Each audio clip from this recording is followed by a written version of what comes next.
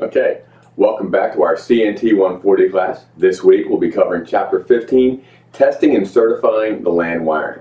The objectives, the objectives that we're going to be highlighting will be certifying cable and connecting hardware, scanner performance, cable plant certification, testing methods, and analog versus digital testers.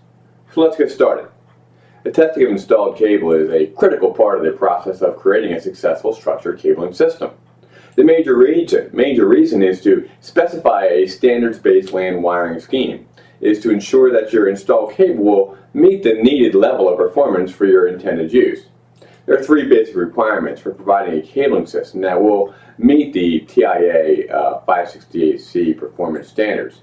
First, you must design a structured cabling plant that will meet the desired performance criteria when the other two requirements are met.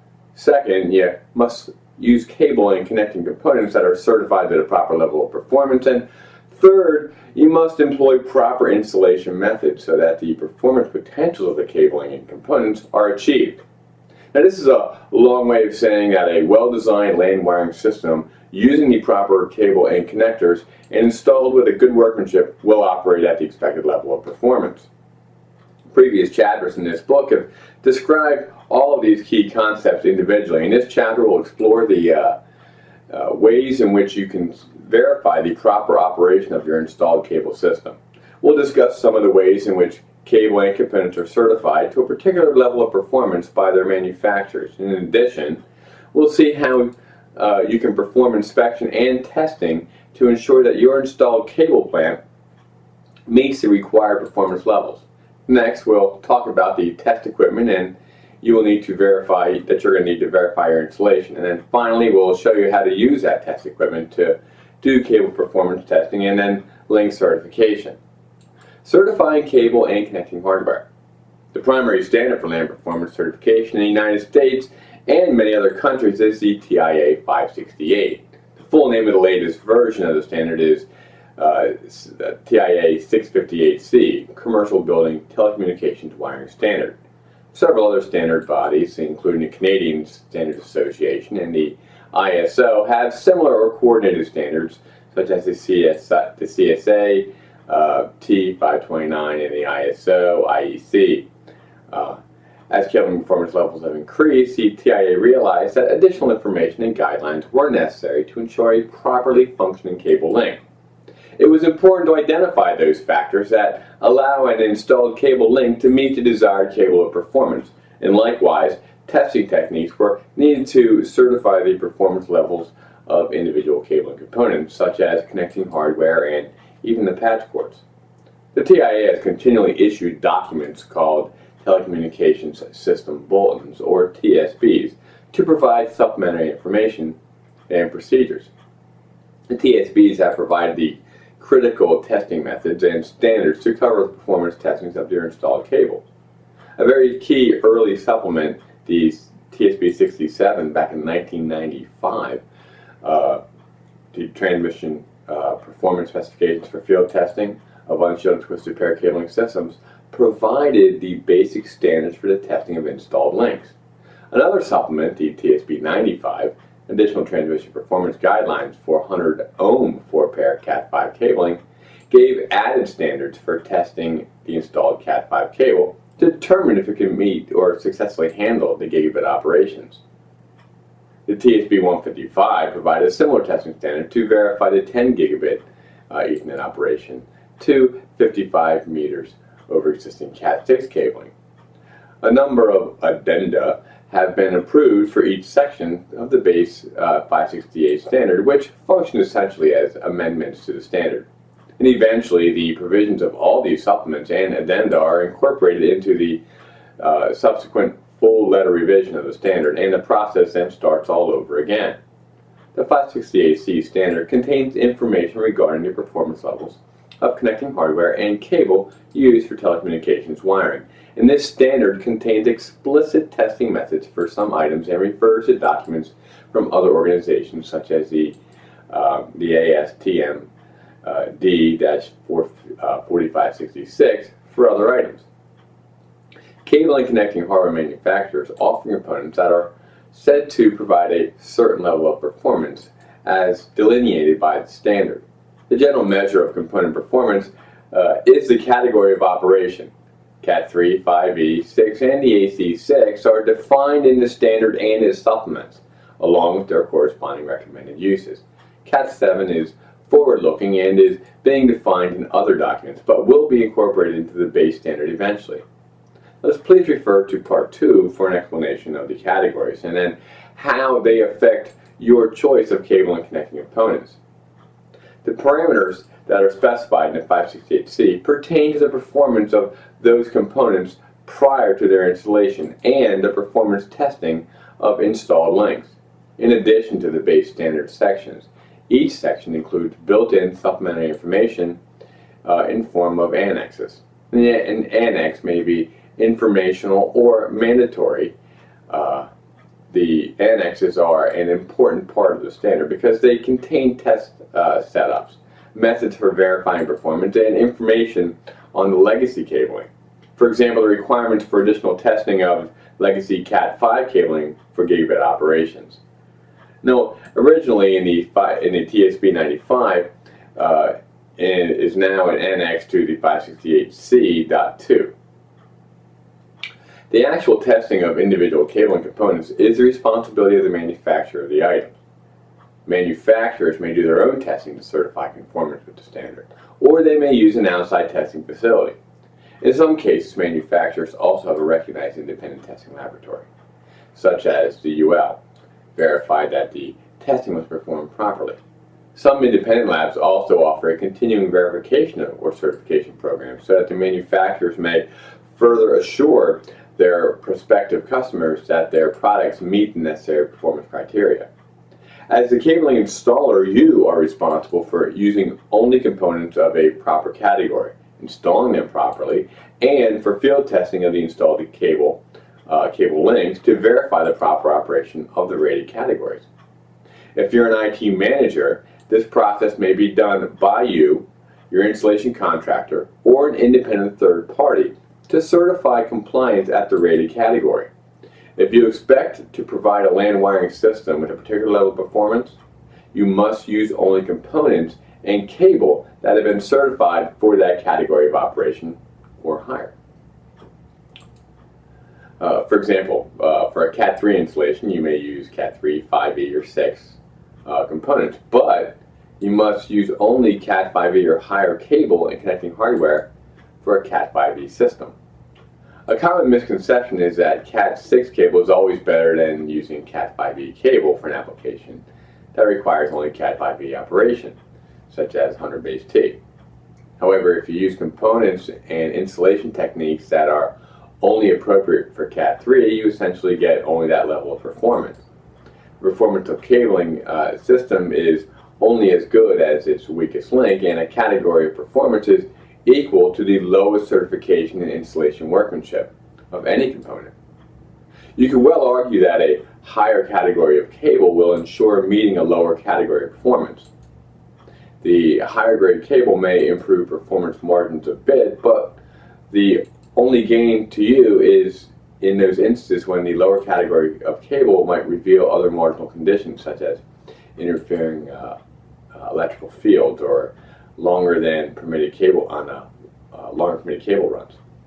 A much better better reason for using a higher cat uh, component is that you could at later time upgrade the cat 5e6 without repulling any wire.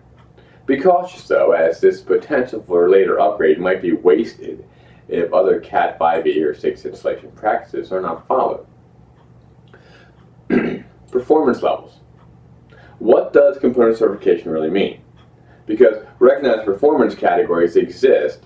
Uh, a cable or connector that is marketed as meeting the requirements of a certain category should be tested to verify that, that, that claim. Now, because the manufacturers are responsible for testing these components themselves, they often provide typical test results in the literature. Some manufacturers will provide detailed test reports upon request and offer product guarantees to back their claims. Now, in addition, independent laboratories offer manufacturer verification testing programs that range from a one-time test report to a continuing test program with random testing. Now, obviously, you're more insured of uh, quality components with a continuing verification program than with a single test sample. The 568C outlines the performance specifications and very detailed test procedures that must be followed to certify components to a particular category. Pluggable connector components uh, present some unusual challenges in reliability testing uh, as they must be checked for connectivity degradation. Random samples uh, of each component are tested for degradation of contact resistance and installation resistance and tests for durability, vibration, stress, relaxation, thermal shock, and humidity temperature cycle. This testing is to be done by the manufacturer to certify its parts to a recognized performance category. A cautious manufacturer might choose to have the certification verified by an independent testing laboratory because of uh, a lot rides on the higher categories of operation. Now surprisingly, with regard to connector plugs and jacks, the 568C standard calls for only uh, 200 insertion slash withdrawal cycles without failure, usually defined by excessive contact resistance. Some manufacturers may specify a usable life of 500 to 2,000 cycles for their connectors, although the standard only calls for 200. The point is made that these components have a finite life. Modular connectors that are used in patch panels with frequent use may be expected to exceed the standard uh, parameter over normal equipment life. Moreover, connectors that are used in test equipment, such as uh, for cable certification, can exceed that number of cycles in a single afternoon. The user is only cautioned by the standards to inspect the connectors for signs of wear. It would be much safer either to use connectors designed for high use uh, or to periodically replace the connectors on high use equipment. You would also be wise to keep a usage log of your test cables and replace them regularly, as the modular plugs used on these cables have the worst degradation from multiple insertions. Connectors must also be tested for transmission performance, attenuation, and near-end crosstalk. Barring the degradation from excessive use, modular connectors have an innate contact resistance that is not significant when compared to the bulk resistance of a length of cable. The wire pins that form the connector are typically gold plated to minimize this contact resistance. However, the modular type connectors used in the current wiring standards do exhibit a significant amount of cross coupling that appears as near end crosstalk. All the 8-pin modular stock connectors are bad in this respect, but testing is done to make sure the near end crosstalk is not worse than allowed.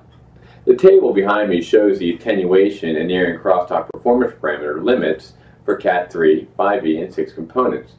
Cat5 is no longer sanctioned, but it had about a 3 dB worse performance at 100 megahertz. You can see from the values that little contribution to circuit loss is expected from the circuit hardware, as most comes from contact resistance. For comparison, the DC insertion uh, resistance is only about 0.3 ohms for a connector compared to 9.2 ohms per 100 meters for the cable. However, the near-end crosstalk contribution from the connectors can be significant. So for example, 100 megahertz, at 100 megahertz, the next near-end crosstalk uh, loss of the connecting hardware must be better than 43 dB while the cable alone must be better than 32.3 dB for 100 meter length. The entire terminated installed permanent link allows only an additional 3 dB to a 29.3 dB at 100 megahertz over the raw cable for all the uh, intervening connecting hardware and installation anomalies. This is an area, by the way, where a higher enhanced grade cable may increase the margin performance for a link. However, the connectors cannot be much improved and remain compatible with the standard modular design. The low near-end crosstalk requirements of Cat5e and 6 are one of the primary reasons that the traditional screw type uh, wire terminals are no longer acceptable in those applications. You can easily observe the increased near-end crosstalk of screw, uh, screw terminal jacks with any of the more sophisticated cable scanners.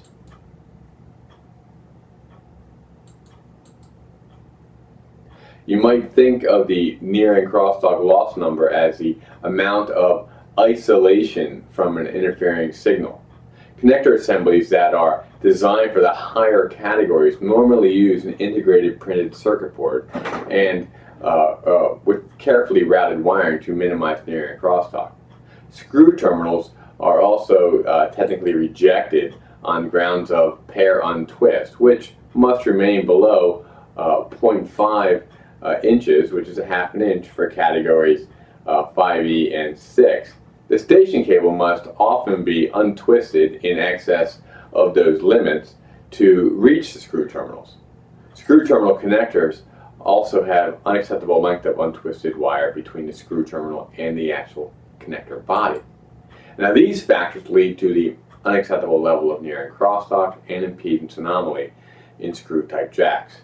You should be aware that there are some insulation displacement connectors uh, that use similar space wiring between the IDC block and the modular connectors. Both the 110 and 66 type mini blocks may be found in these types of outlet plates. These connector assemblies do not meet the needs for Cat5e, 6, and should be avoided. This problem comes not from the connecting blocks, but from the internal outlet wiring from the jack to the block. Do not confuse these jack plates with the acceptable style that integrates the 110 block into the connector as part of the printed wiring assembly. Cable used in horizontal and backbone uh, runs must also meet performance standards. The table behind me shows the attenuation near-end crosstalk performance parameters for Cat3, 5e, and 6 cable. And note that these levels are for the raw cable, not an installed link. Horizontal cable must meet essentially the same requirements uh, as backbone cable. The attenuation near-end crosstalk limits are calculated from a formula in the actual standard, and the values in the table merely illustrate the calculation of a, of a specific discrete frequencies.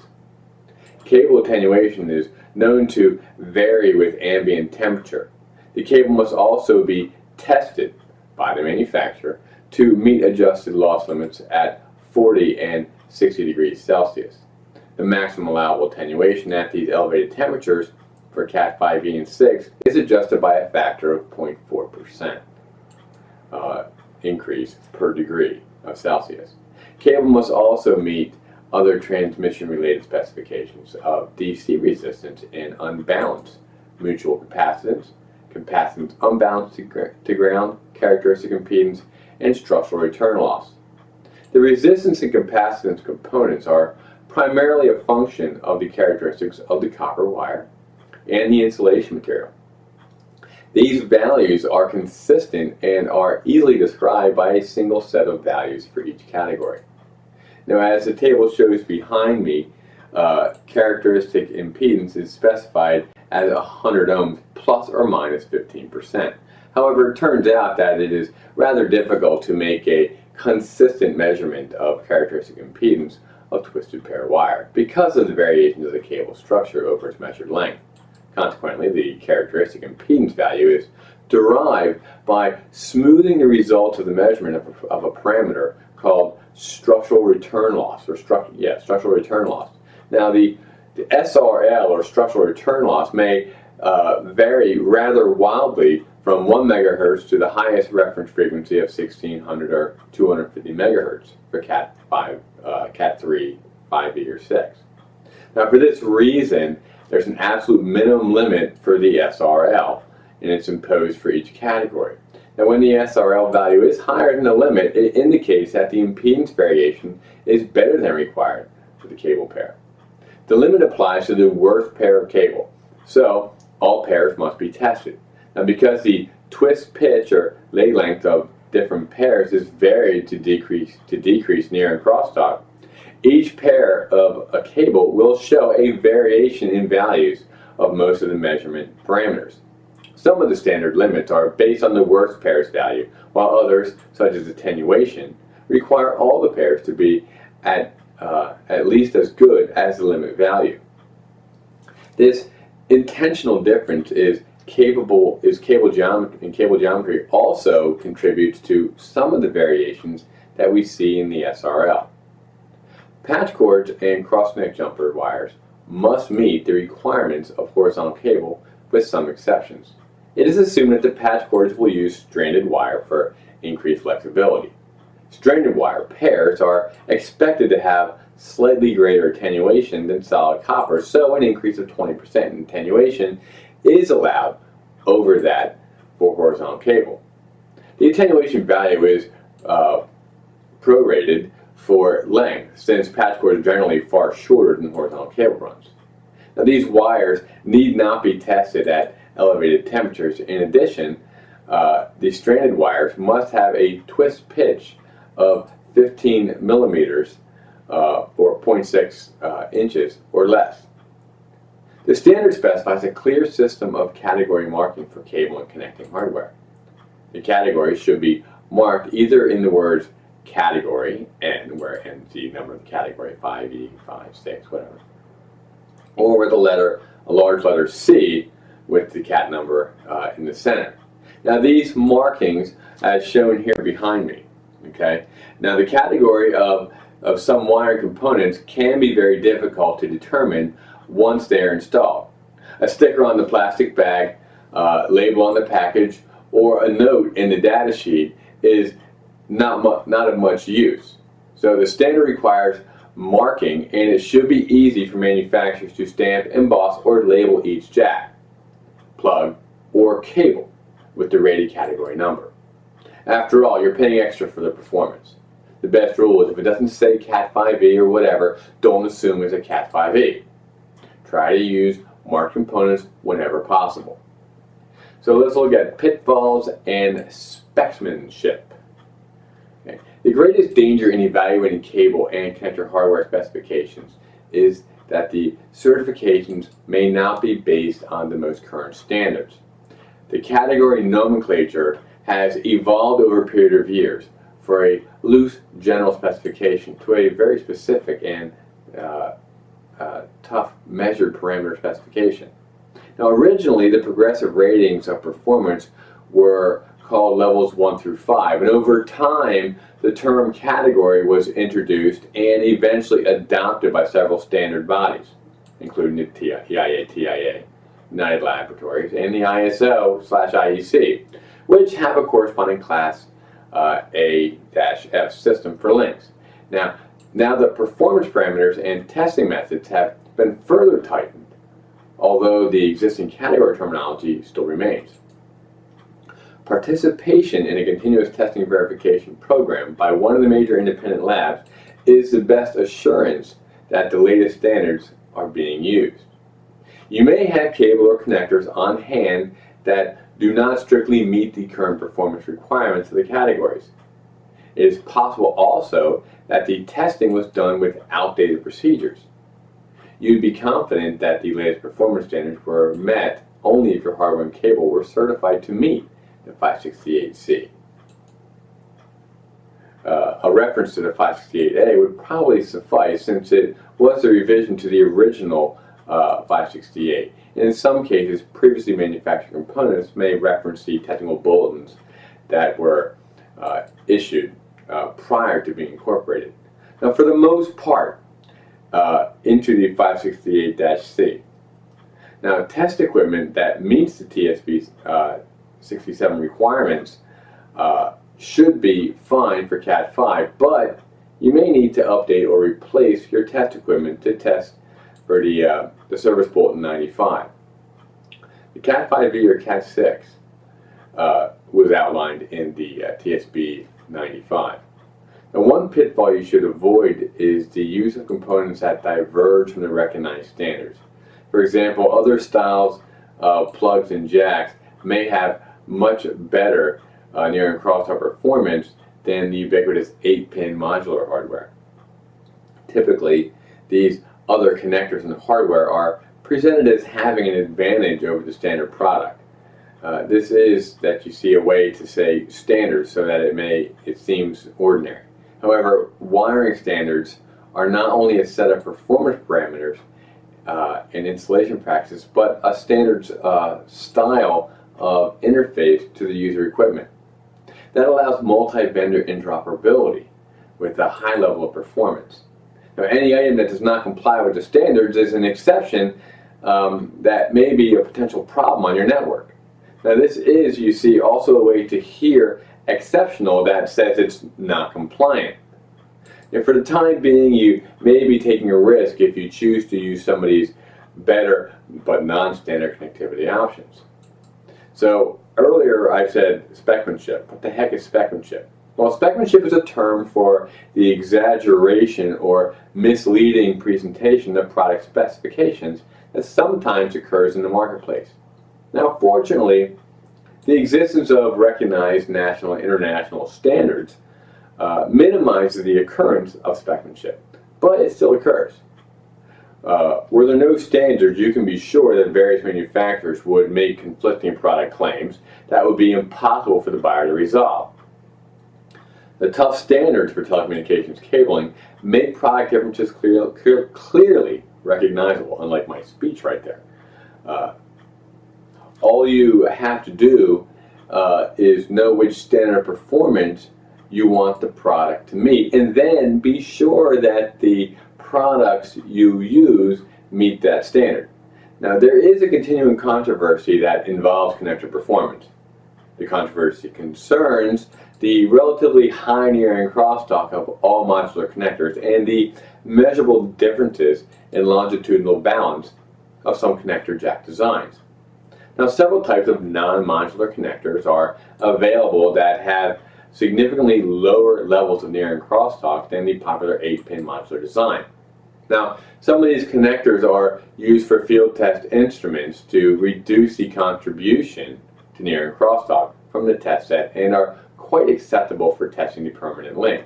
However, a compatible lower near-end crosstalk modular connector style will be much more desirable than attempting to replace uh, more than a decade of installed uh, modular connectors with other connectors. Several manufacturers are working on the improved products and we're already starting to see clever plug and jack designs emerge from the issues of longitudinal balance and resonance phenomena that are more subtle. Resonance phenomena can cause short links, particularly under 15 meters, to exceed the allowable near crosstalk performance and is related to the return loss and or balance of the link. So let's look at the cable plant certification. Now, in addition to using uh, properly rated cable and components in your LAN wiring installation, you should plan to test your installed wiring system to the expected level of performance. Now, installing a cable plant or wiring system is a complex task, particularly if you intend for it to support high performance 100 or gigabit networks. Even the 10 meg Ethernet and 16 meg token ring had to have station cables that met a certain level of performance to have been considered reliable. Now, most LAN wiring is put to use immediately after cable plant installation. Initial uh, operation of the workstation is a good indication that the cable is all right, but it's not positive proof that the cable is in perfect condition, particularly if your workstations are still using 10 or 16 meg technology and you plan to go to higher speeds. Also, it's not unusual for some of the station drops to remain unused until some later date. How will you know if these drops will, will work when you need them? Well, would you have a light fixture installed and not try the switch? Well, probably not. You need to test each drop of your cabling system as well. The best way to test cable is to use proper test equipment that looks only at the cable performance. In that way, you avoid the nagging little network problems that obscure the real issues. Cable often gets blamed for problems that are really network hardware problems and bad software configurations. Best time to do the testing is before the furnishings and people have been moved in. At this point, all outlet jacks are accessible without the need to move desks and other furniture.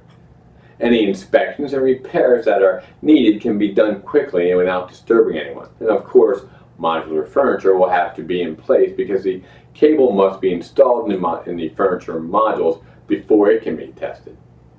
Now the TIA has offered a service bulletin-72, now incorporated into the 568C as a means to provide an intermediate point for interconnections to modular furniture.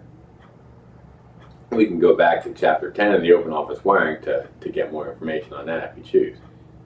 Now, let's look at testing the installed cable. Now, the testing of installed cable links is often referred to as certification. Uh, certification is normally prefer, performed by the installer and involves testing each individual cable link to a recognized standard. The end result of the certification is a report that shows the actual measurements of each cable link and the pass or fail determination.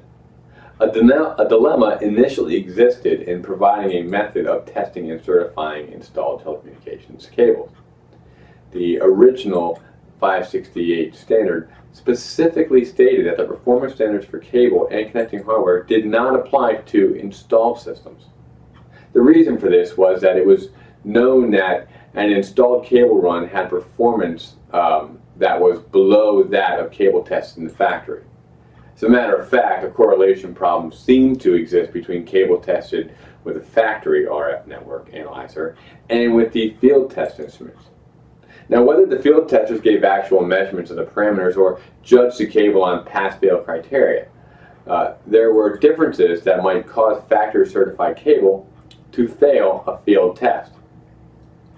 Some of the differences were to be expected as the installed cable had several wire terminations, cross connects, and modular connections that did not exist in the factory. Also, the standard factory test was and is to lay the cable out on a non-conducting surface such as a concrete floor or loosely coiled and use a specified or special test adapter to connect to a network analyzer. Cable in the walls is bent, pulled, tie wrapped, run along metal pipes, steel beams, placed in conduit, and installed in all manner of non-ideal conditions that uh, affect its performance. You would expect it to perform differently. Moreover, there were no standards for accuracy for field testers that, were, that their performance varied considerably. And no wonder there was no correlation. Fortunately, the situation is much improved with the newer standards such as the 568B and C. The performance of installed cable is specified in detail, as is the accuracy of the field testers. Even the required tests, testing methods, and the methods of reporting the results are specified. The correlation of field tester performance with laboratory network analyzers is also made. All of this lends a wonderful consistency and reproducibility of the testing of installed cabling that gives a real confidence factor to a cable plant certification. Certification for installed cables may be done two standard ways, permanent link testing and channel testing.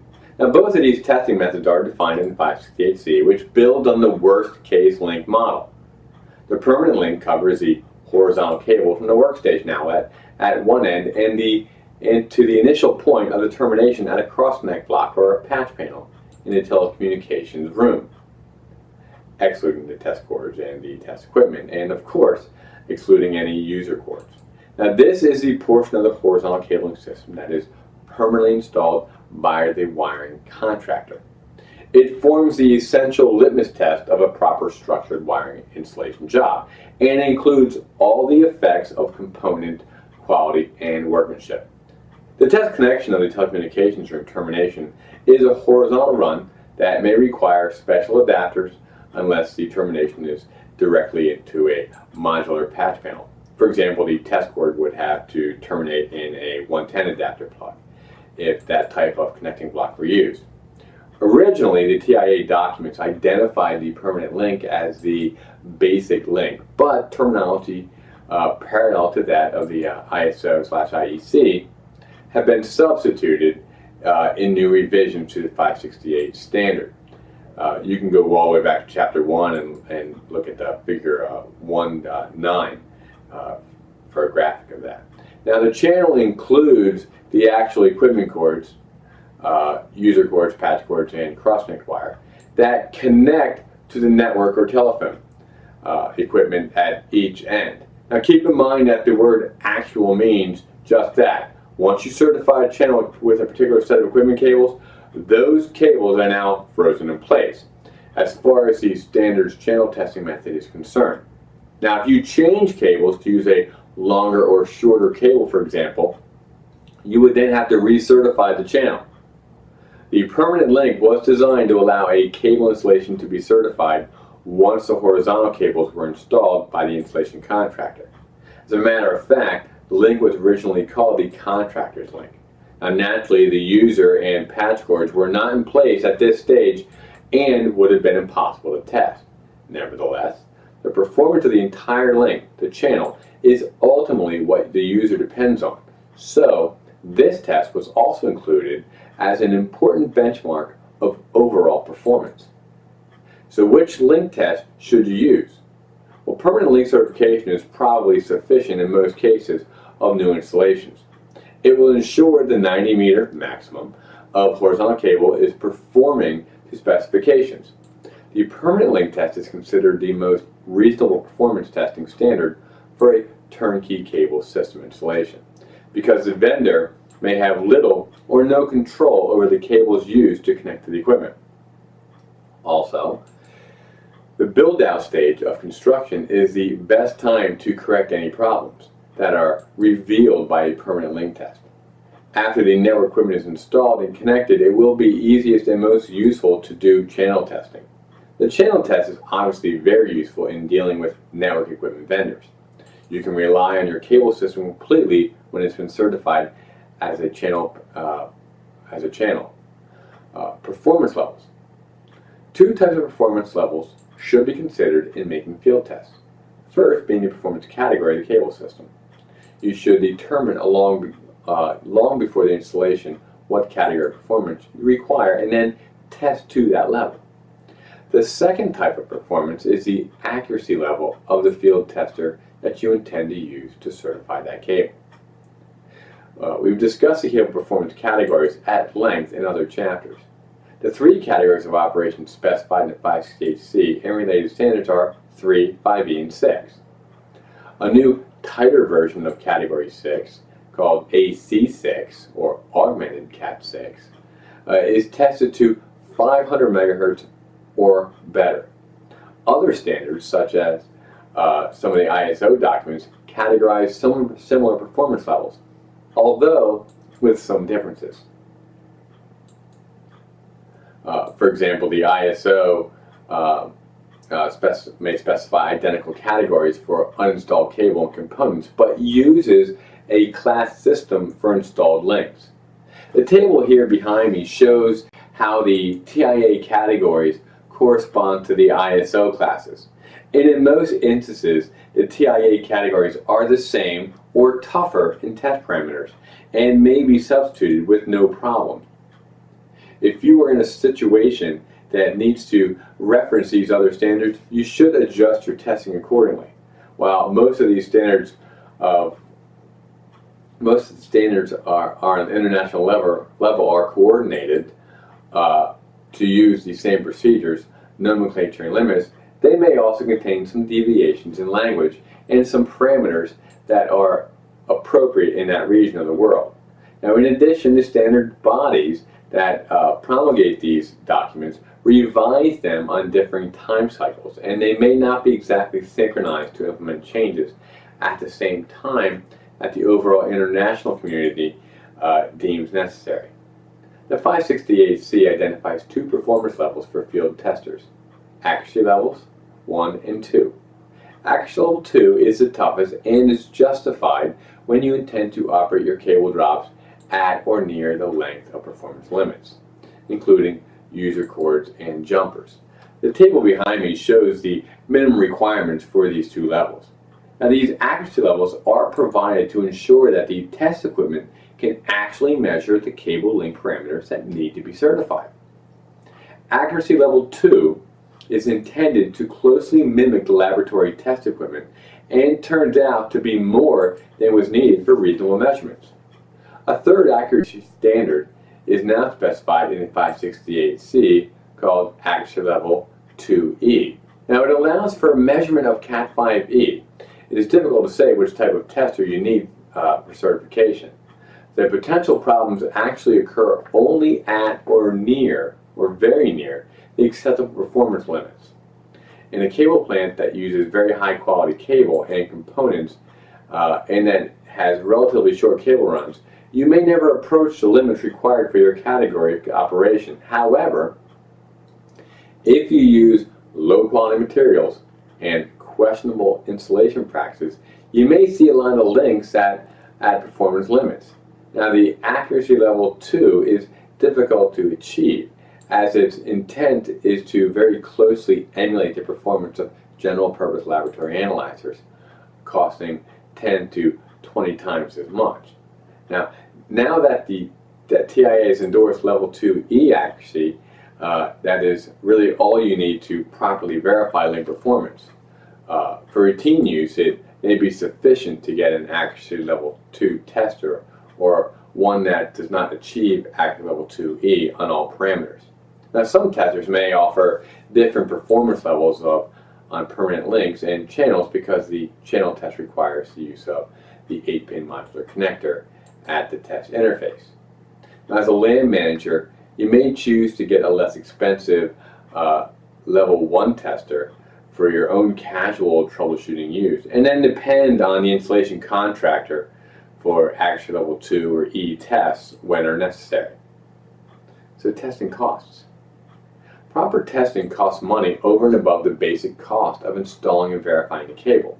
As we will see in the, uh, coming up, there are many tools that may be used to test LAN wiring, and some of these tools are fairly simple testers that check continuity and wire map, and checking for your proper pin connections. Uh, the use, use of tools, such tools should uh, be considered a normal part of cable installation and included in the price. Now, these simple tests verify the DC electrical integrity of the link and find gross failures that would prevent the cable from functioning even if uh, in simple uses. Uh, this verification catches wiring errors and can find cases where the cable has been severely damaged after installation. Verification uh, by visual inspection and continuity check uh, once were considered sufficient testing for telecommunications cables. Now this is no longer the case. The demanding cable performance that is required by modern LAN applications can no longer be met by such simple testing methods. To truly test a LAN wiring system to meet one of the more rigorous performance categories uh, requires the use of very sophisticated test equipment. Specialized field testers have been developed to reduce the cost of testing. Now these testers are far less expensive to purchase than the ultra sophisticated laboratory RF network analyzers. These tests uh, all sorts. This, these test all sorts of electronic networks, not local uh, area computer networks. Yet the field testers uh, yield useful results that closely match the measurement to the LAN category standards. They produce quick pass-fail indications and print full reports. These field testers are also very easy to use. They can run completely automated tests, store the results, and pinpoint problem locations for the cable under test. Now most of these testers will operate for several hours on battery power, so you don't have to even have to find a power outlet. Although these testers provide many advantages, they also um, are still much more expensive than simple wiring verification tools, and they require additional skill to operate properly. Consequently, you should expect to pay extra for having your cable scanned with one of these field testers. The cost of the tester, the skilled operator time, and the preparation of the report, and the possible retesting should be considered when budgeting for the additional cable scanning step. You should allow budgetary cost of 5 to 15% of the installation cost per drop to certify to permanent link standards. The cost variation is to allow for special circumstances such as an unusually difficult and expensive per drop cost.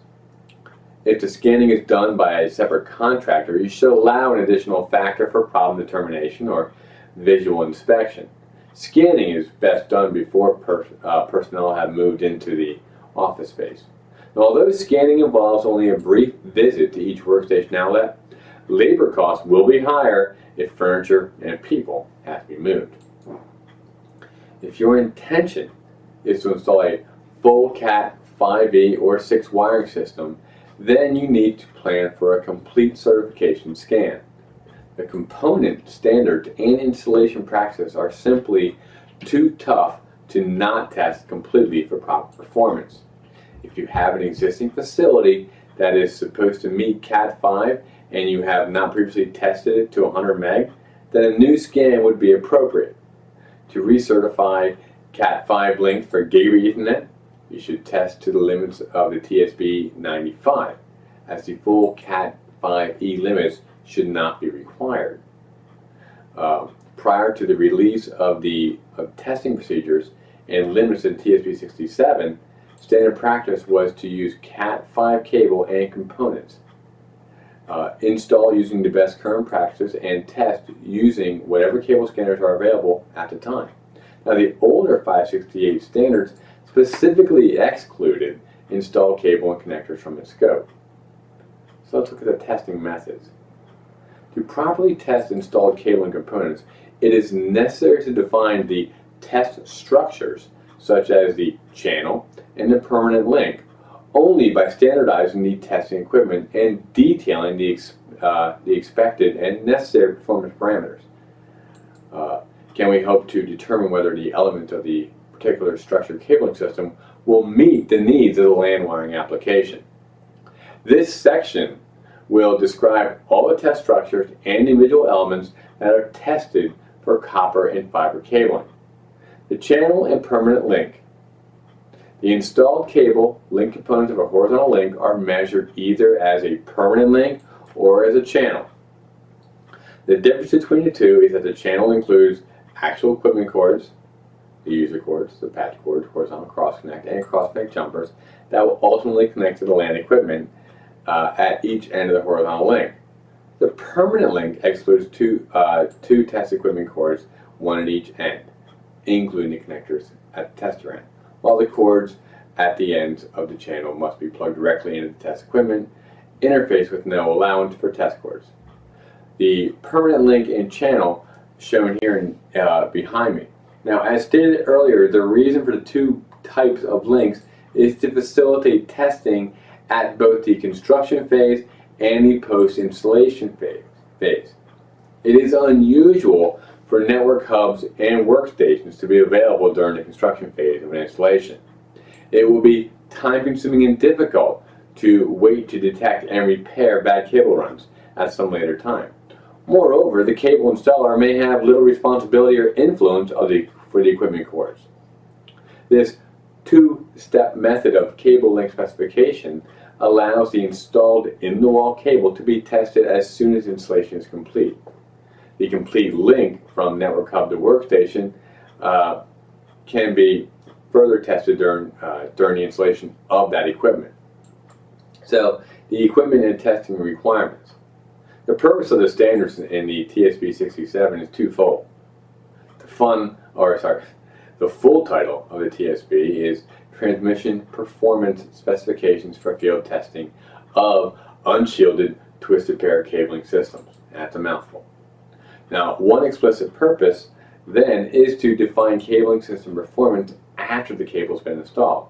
The other purpose, which is implied by uh, wanting to test in the field is to determine field test performance. Early field testers did not always produce consistent results when compared to the ultra expensive lab testing methods. So, the standard stage uh, states which tests will be done, uh, what measured performance levels are important, and what tester accuracy and reporting is then required. The testing that is required includes parameter measurement for the following tests wire map, length attenuation, near-end crosstalk loss.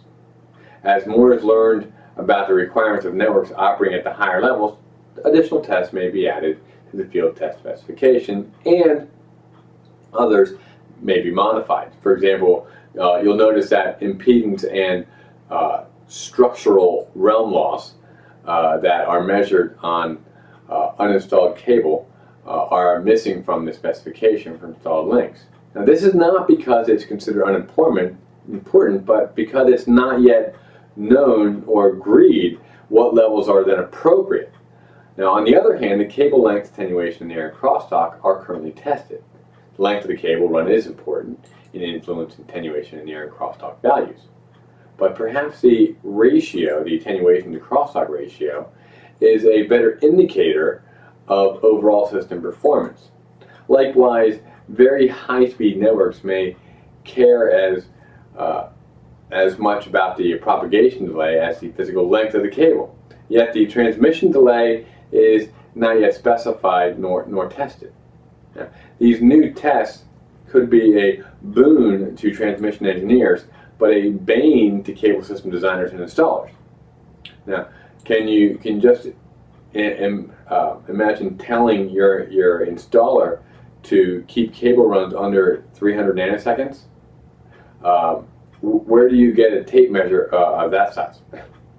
um, let's uh, let's look individually at each of the tests that are, are now required. Uh, wire map. The wire map test uh, checks for wiring errors and any significant cable faults such as shorts or opens. Uh, it's a good idea to check the real cable for shorts or opens before the installation uh, as uh, it'll be very hard to prove that the defect was not caused during the installation. You can also perform most of the other tests uh, as the real cable should easily pass uh, them before it has been installed. Now keep in mind that if you want to check near-end crosstalk, you'll need to use a properly uh, rated connector uh, because its near crosstalk will often be significant compared to that of the cable. The wire map test will check for continuity, shorts, cross pairs, reverse pairs, uh, split pairs. Uh, the figure behind me shows the correct pinout pairing and, and most of the common wiring errors.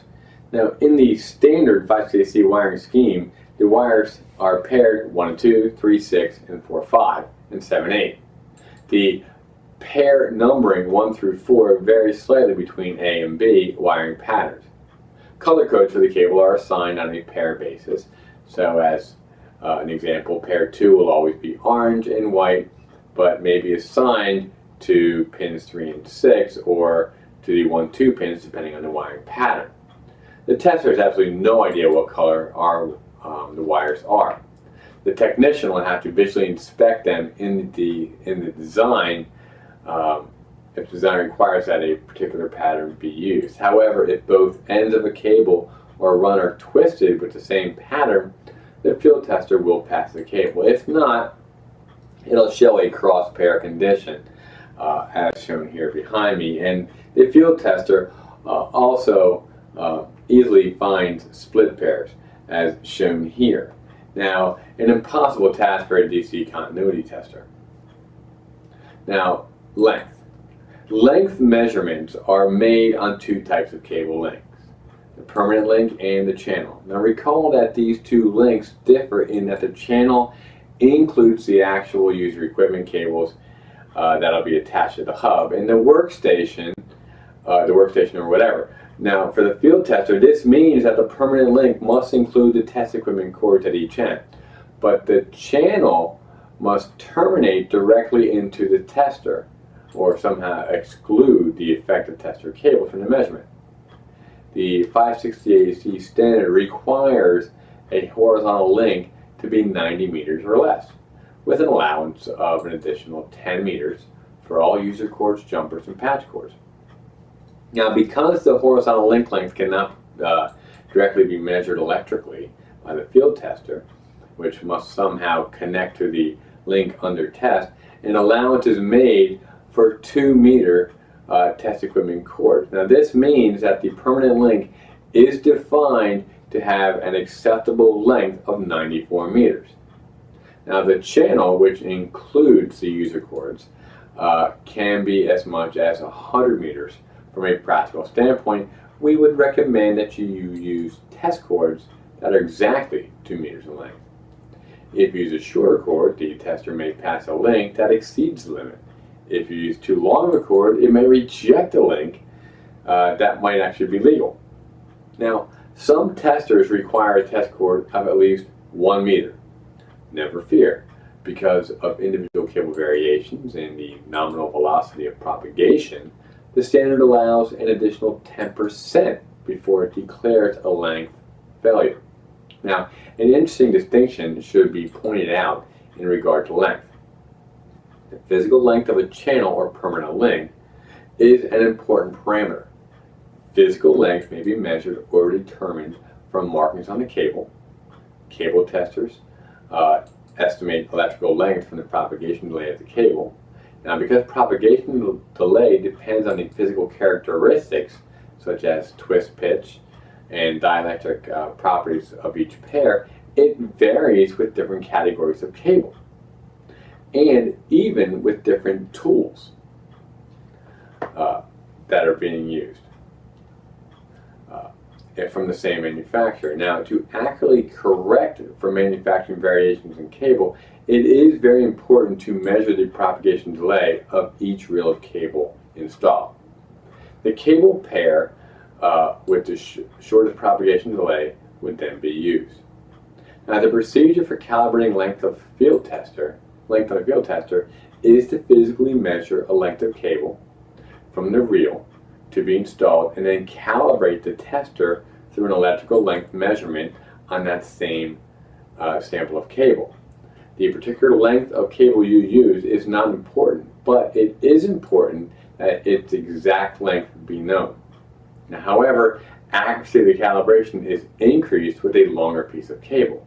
A length of 15 meters uh, or about 50 feet or longer is commonly recommended. Now realistically, it would not be practical to cut and measure every reel of cable at a large job, but you should calibrate for each different cable, uh, cable lot. If possible, you might cut a length for one of uh, your cable runs to be uh, to use to calibrate the cable, so uh, as to not waste uh, the sample. Now, testers are required to have a length range of at least 310 meters, so that's about a thousand foot reel of cable could then be measured. However, until the cable uh, on a particular reel is calibrated, uh, this measurement should be considered only approximate. Stated lengths of reel cable are not exact and should not be um, used exclusively to uh, calibrate for, for the uh, for the NVP of a cable. Attenuation. Now the maximum attenuation for, for the purpose of testing the permanent link or channel uh, has been based on the attenuation values given in the standard 568C for horizontal cable, connecting hardware, and uh, jumper or patch cords. It prorates the loss values given in uh, dB per 100 meters and applies them to the worst case length of a link. Now the table here behind me shows a summary of the allowable attenuation values for the permanent link and the channel at selected frequencies. Now the TSB67 contains the formulas for calculating each of the components of permanent link or channel attenuation. The actual measurements should be made at intervals of 1 megahertz or less in the appropriate frequency band, but the tester will take care of uh, this automatically. The attenuation test limit is a worst case link. The actual attenuation of a measured link will be less if the cable run is shorter than allowed. However, in most testers, the measured loss is compared only to the limit of the worst case. This means that the test will not directly uh, catch cable that has greater than expected loss based on the installed cable limit for the 568C. But the extra attenuation per meter should have no effect on link performance. If you wish to catch substandard cable, you'll have to compare the actual loss measurement with the expected loss for that particular length of cable. Now, as with the specification for uninstalled horizontal cable, there is an allowance for the effect of temperature on the attenuation of the cable. The allowance is 1.5% um, per degree of Celsius for Cat 3 and 0.4% for categories 4 and 5. Now to illustrate this, consider a cable installed in an attic where an actual temperature is 30 degrees Celsius rather than a normal 20 degrees Celsius of, of the standard. The attenuation link for a permanent link at 10 megahertz would be raised from 10 dB to 11.5 dB for Cat5e. Now, two other environmental factors are known to cause changes in attenuation uh, metallic conduit, and humidity. The difference expected for cable uh, and conduit is up to a 3% increase, but the standard allows no latitude in test limits. It should be expected that long runs in close proximity to other metal objects might also cause an increase in attenuation. You should keep this in mind in planning your design. The humidity effect is a new consideration. Now some cable manufacturers have stated that the humidity effect is cumulative over time in PVC or plenum rated uh, PVC compound jacketed cable. And it may cause cable that originally tested good to fail after a period of exposure to high humidity. The standard makes no allowance for the effects of humidity. The cable length must pass the attenuation limits regardless of the humidity.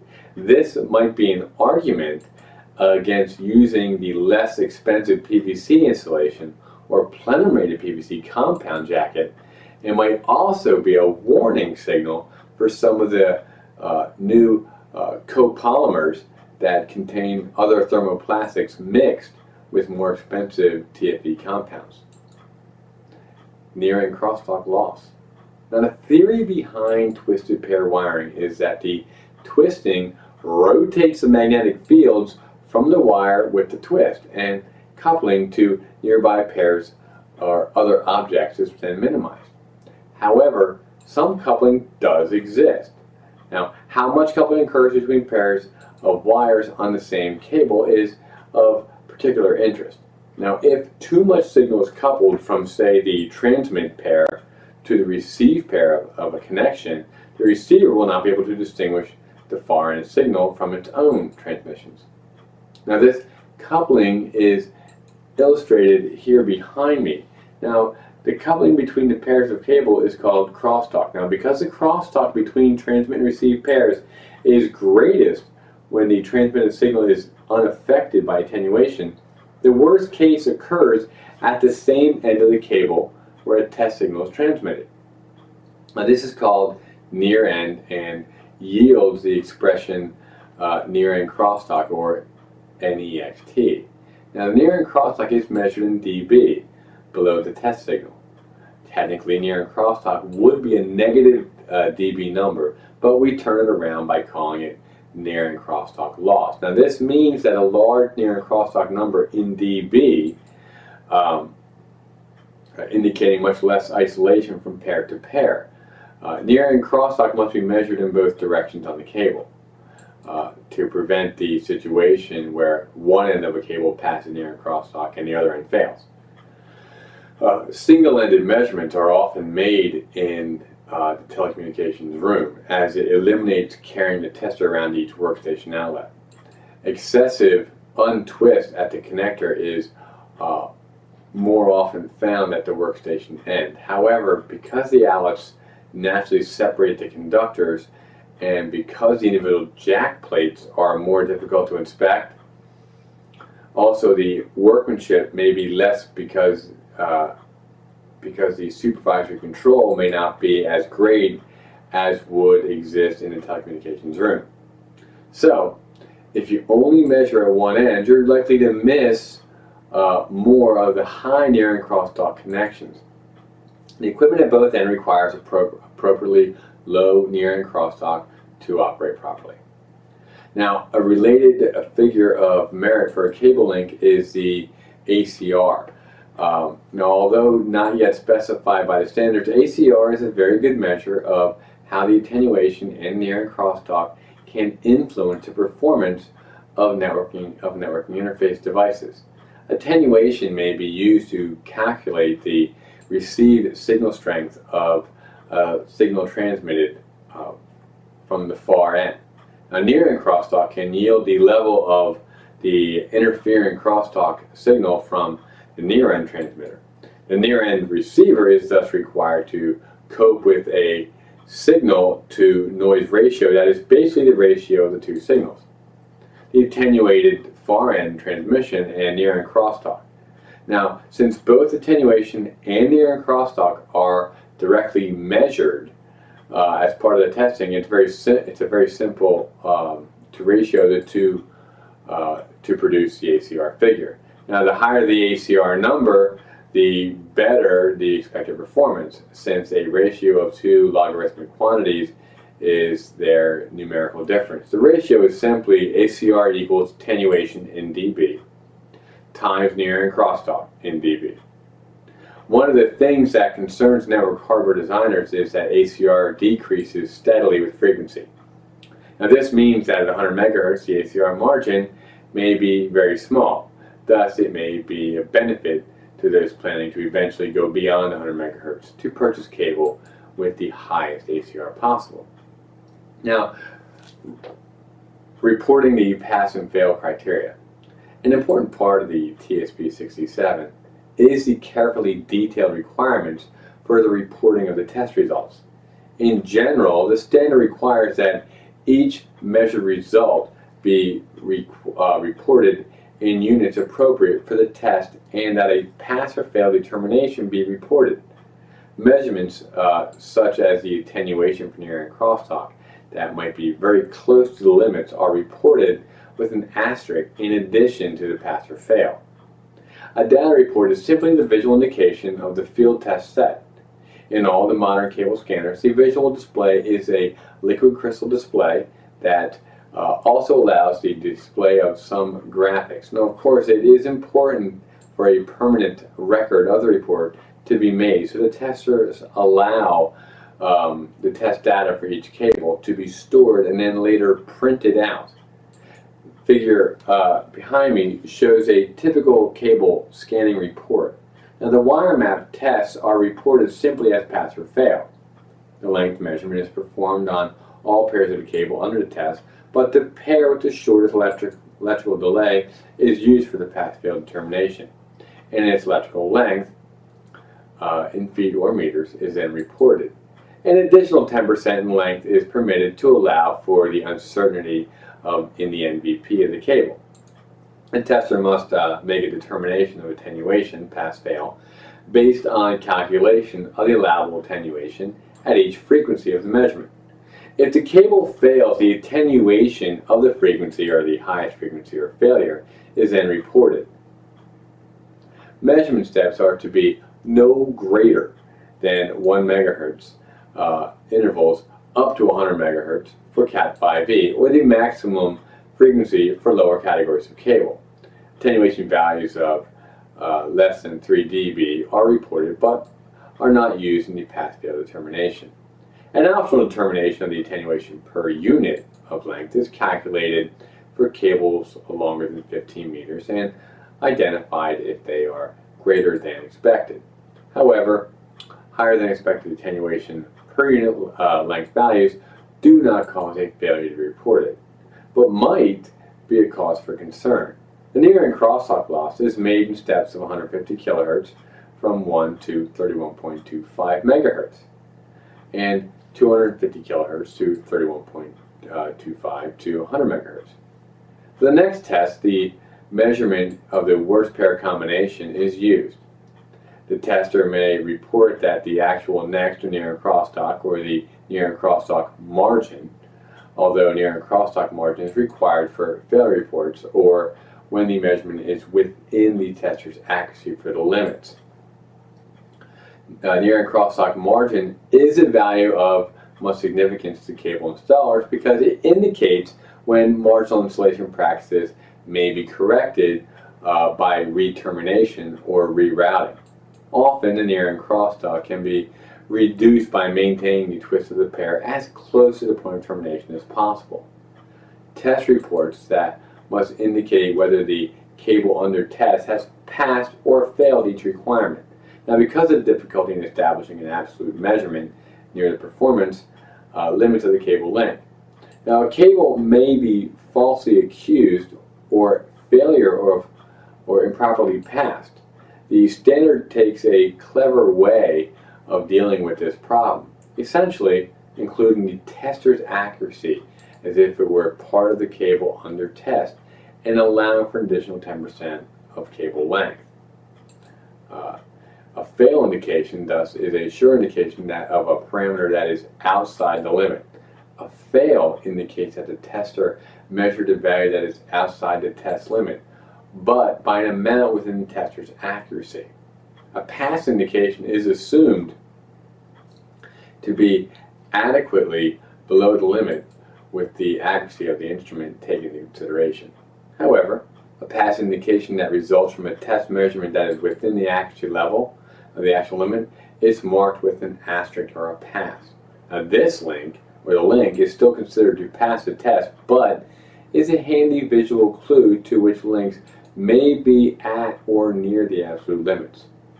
Prudent installer might want to take a second look at this link, or take a second look at your tester and recalibrate.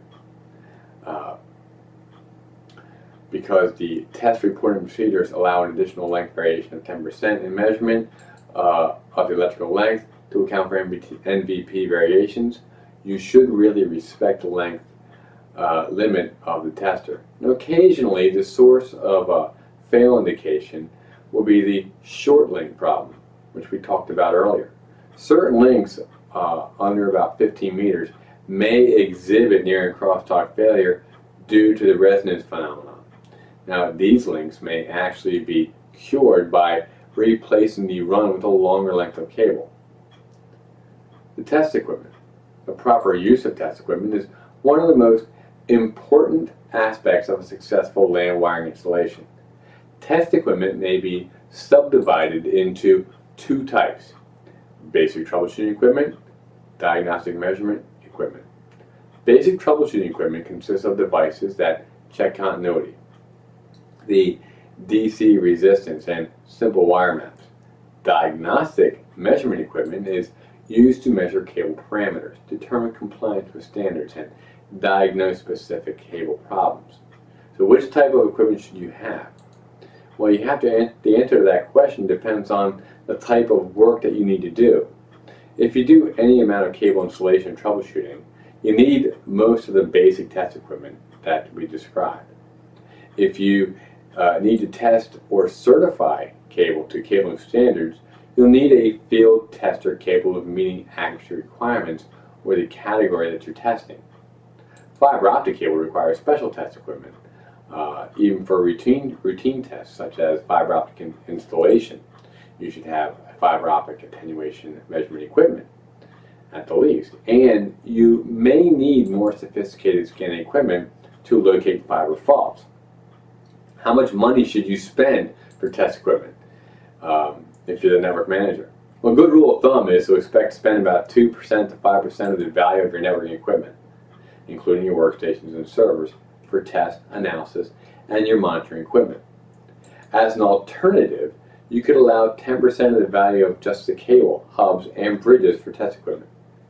The point is that you need to have a reasonable capability to test and troubleshoot your network. Without the proper equipment, you are flying blind. You'll suffer from periodic cases of um, equipmentus, uh, substitutus, um, which means you'll be substituting equipment here and there, running around, carrying computers, moving in switches here and there. Um, that was like a pig Latin there for um, substituting equipment, the equipmentus substitutus. Um, to avoid this uh, syndrome, simply obtain the necessary test equipment to simplify and speed your troubleshooting. You also need a certain amount of test and monitor equipment to verify the health of your network and to spot trends that may have a negative effect on performance in the future. The rest of this chapter will be devoted to the essential test equipment that you need and the methods uh, to use in employing the more sophisticated testers. In addition to the physical layer equipment that we show, you may also need to have uh, LAN protocol analyzers that deal with the higher layers of networking. These tools uh, will help you answer the age-old question, okay, if it's not the cable, then what is it? Well, first tester we want to look at is a continuity tester, or voltmeter. Uh, the basic item of the test equipment that should be in your toolbox. It's a good electronic voltmeter. The voltmeter should be able to read DC volts, AC volts, and ohms. Uh, it should be durable and have an easy to read display. A hold function is also nice allows you to make a measurement and later read that display. This is great for those times when you're deep inside a punch-down block or an area with very low lighting.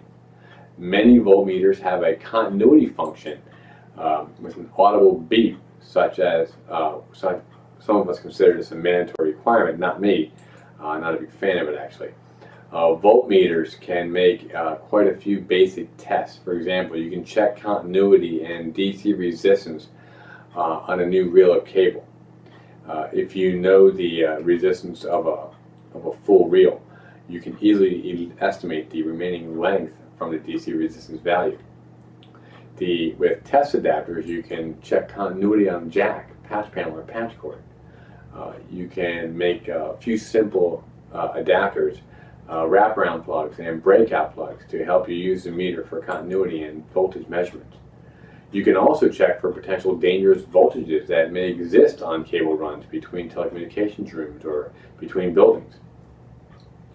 A type of uh, voltmeter that is particularly handy in the field is the probe style digital voltmeter. Uh, this one, now like the one shown behind me here, and it's got the entire meter circuitry and display in one oversized probe.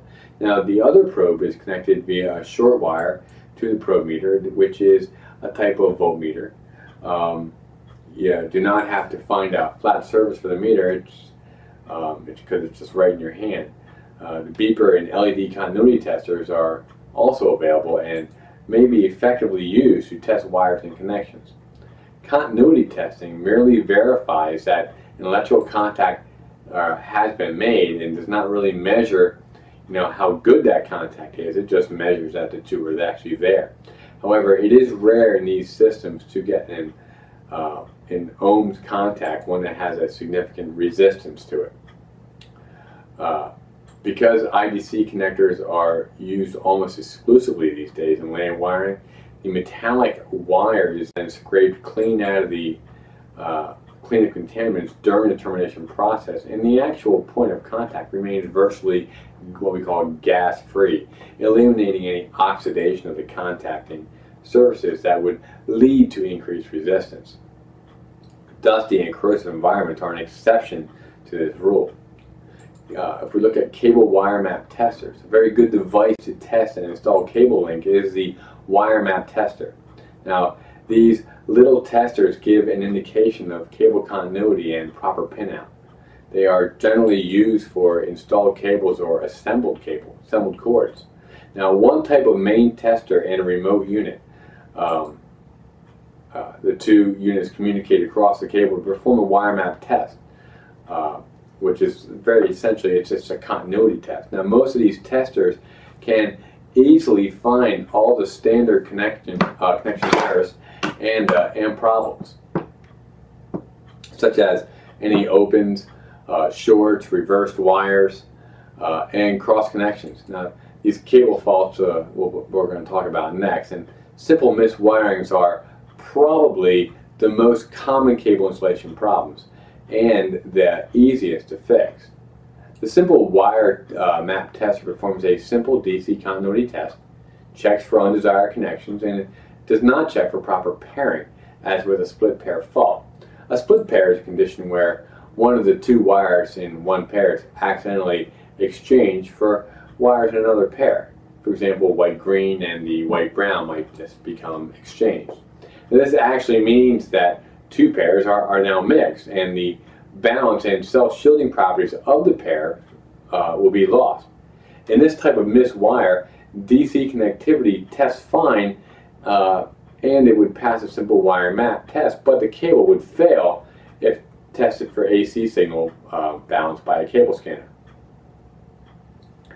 In many instances, a cable with a split pair fault will cause a LAN link to fail, which is why it's important to test for this with the uh, more sophisticated scanners. The specialized version of the wire map tester is used to test assembled cables. This uh, cable continuity tester has two modular jacks where each end of the cable is plugged in. When the button of the tester is pressed, LEDs light to indicate continuity of each wire in the test cable, one by one. A pass is indicated by observing that the LEDs uh, each light up in order through the number of pins in the cable. This type of tester may be used for 6-pin modular connectors in addition to 8-pin connectors and LAN wiring. Frequently, the same test jack is used for both sizes of connectors. This creates a potential false failure problem for pins 1 and 8 on the 8-pin plug. Although the 6-wire plug will fit into the jack of the tester, the plastic sides of the plug may uh, permanently bend the jack's first and 8th pins, making them no longer contact pins 1 through 8 on the 8 position plug, and then giving us a false indication of failure. The solution is to never use 6-pin plugs in a tester that you intend to use for 8-pin plugs. If you believe a false failure has occurred, you can usually form a small stiff um, uh, stiff wire paperclip to bend the jack wires back into the position. Then test cable again. Cable tracers. How do you find a single cable in a bundle of cables? Well, how can you quickly verify that an outlet is properly marked? The answer is to use a high impedance tone generator and an inductive cable tester as shown behind me. Now these are two of the handiest tools around and no serious cable installer should be without them. The tone generator was originally developed by the telephone industry to assist its installers in tracing wires into and out of the distribution frame. Any unmarked jack would quickly be traced by placing a tone on the jack and using the telephone test set, commonly called uh, a butt in set or just the butt set, to find a tone. The tone's distinct warbling sound could be uh, easily distinguished from other sounds on telecommunications wiring. However, the butt in set had to be physically connected to one of the cable ends to hear the tone. Something else was needed. That something was called an inductive pickup. Now this device uses a coil and a probe point to, mag to magnetically couple to a cable so that you can pick up the, the uh, tone without having to make electrical contact with any of the wires.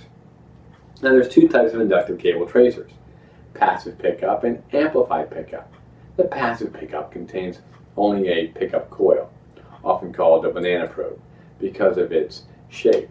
Now, this tracer requires the use of a butt inset to hear the tone.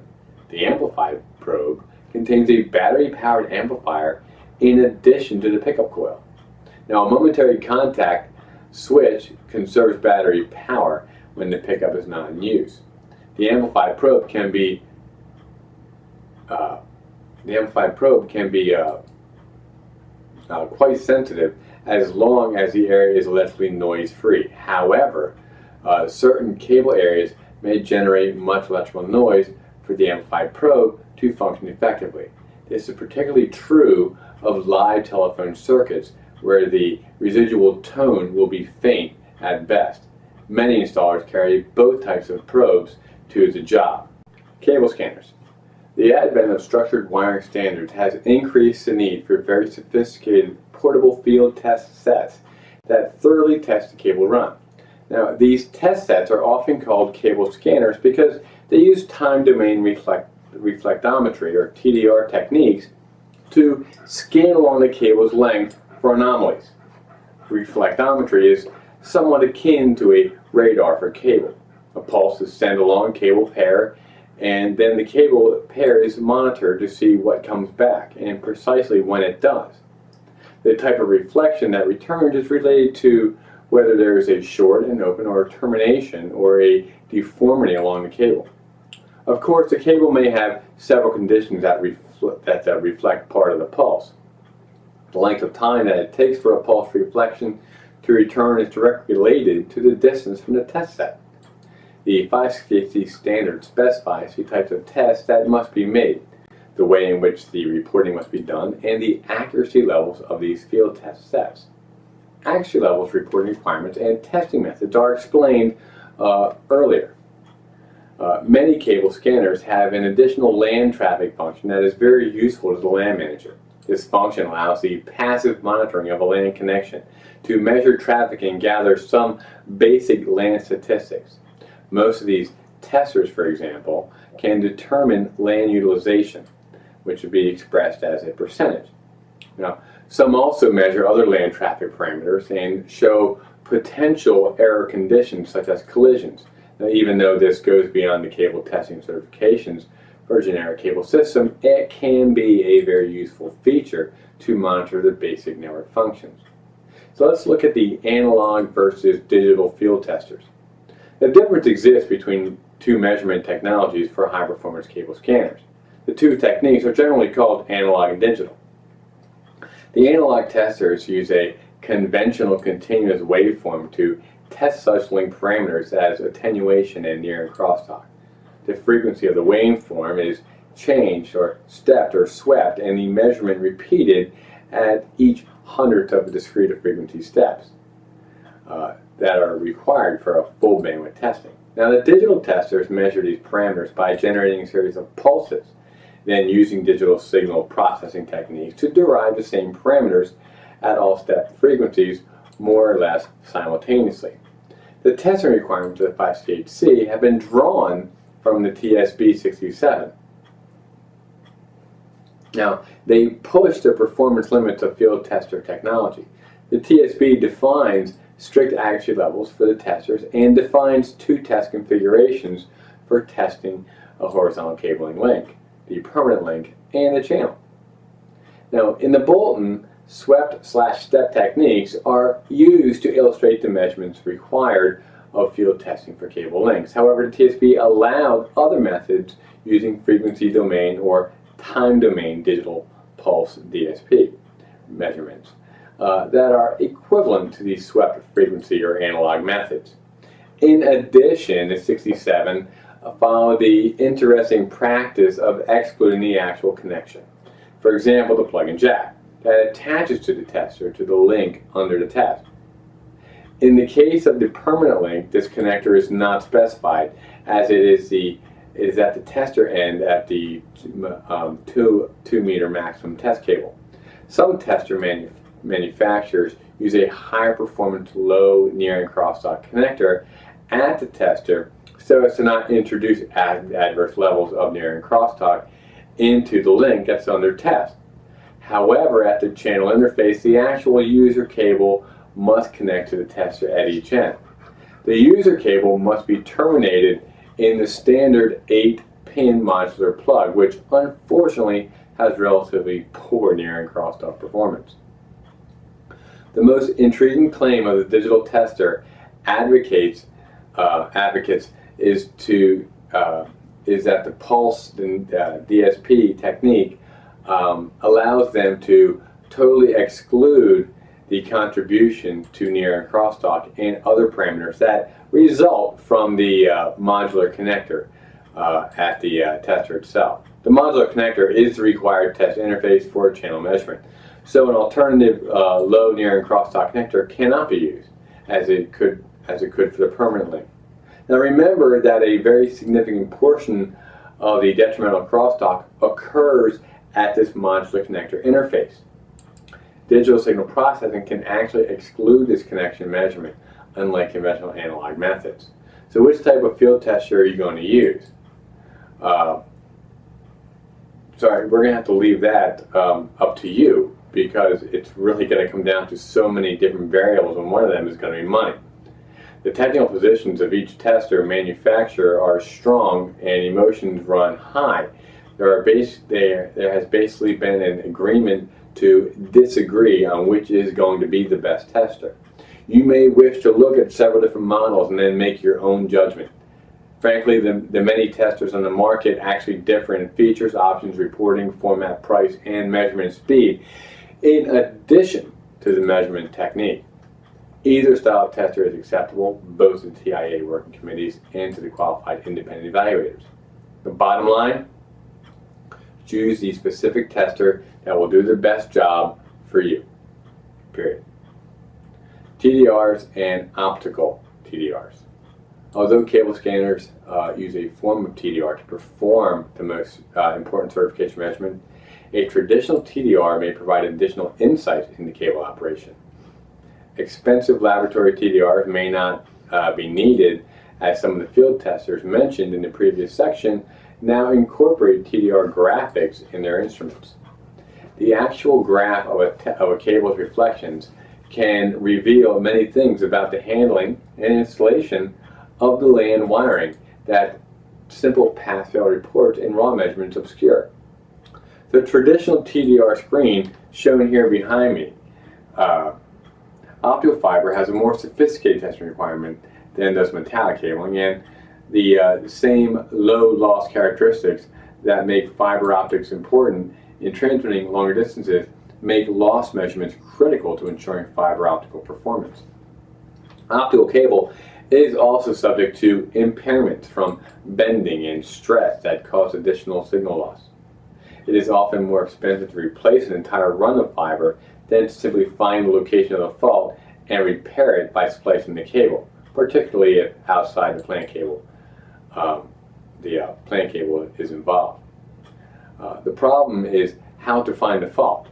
Well, an optical version of the TDR called the optical time domain reflector uh, is a solution. Now this device operates in the same manner as the conventional TDR, but uses a pulse of light rather than an electrical pulse. Modern uh, OTDRs display a graphic that shows the signal return of the fiber along its length. Now by moving a cursor, uh, you can pinpoint the distance from the source to an anomaly.